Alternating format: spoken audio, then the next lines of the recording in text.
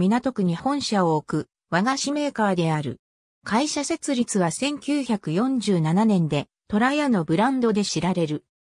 室町時代に京都で創業し、御用税天皇に和菓子を献上して、以降、皇室御用達の成果業となった。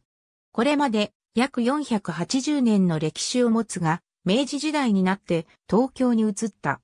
特に羊羹の製造販売で知られ、虎屋の羊羹として広くその名を知られている。東京の老舗店の集まりである、東都の連会の会員であるほか、伝統企業の国際組織であるエノキアン協会にも加盟している。日本国外でも事業を展開しており、1980年にはパリ、1993年にはニューヨークに出店している。ただし、校舎は2003年10月をもって閉店した。著名な歴代当主には、参議院議員で、厚生大臣も務めた第15代、黒川武夫や、日本青年会議所の初代会頭を務めた第16代、黒川光朝などがいる。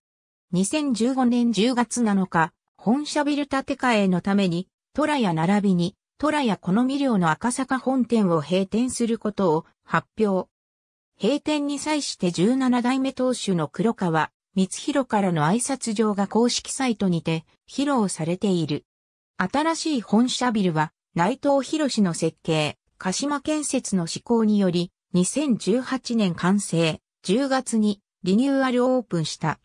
当初の10階建て案から4階建てに縮小され、2020年に日本建設業連合会主催の第61回 BCS 賞の一つに選ばれている。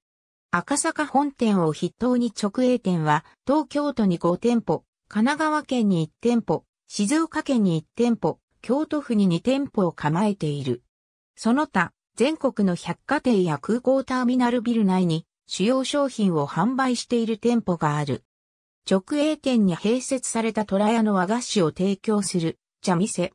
東京都では赤坂店、東京ミッドタウン店、銀座店、帝国ホテル店など。国外では1980年にパリに進出した。あんを材料として用いた洋菓子などを提供するカフェ。六本木ヒルズと表参道ヒルズにあった2店舗はともに2019年、現在閉店。青山一丁目駅店のみ営業。職人がその場で手作りしている工房で庭を眺めながら歌詞を楽しめる。御殿場東山ミュージアムパークの一施設。工場は東京工場、御殿場工場、京都工場2カ所がある。虎屋には歌詞の絵図帳や古文書、古記物が伝承され、これらを整理、保存する機関として、虎屋文庫が設置されている。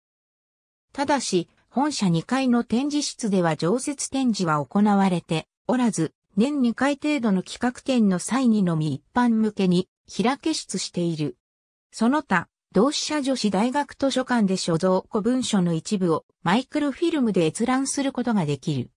この機関に所属する和菓子研究家の中山恵子は、和菓子の歴史に関する書籍を複数執筆している。ありがとうございます。